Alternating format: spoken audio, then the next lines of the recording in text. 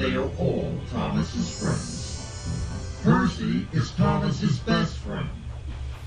Percy is a small green tanker arrived on the island. Sir Topham Hatt had chosen Percy to show the famous artist the special places. The famous artist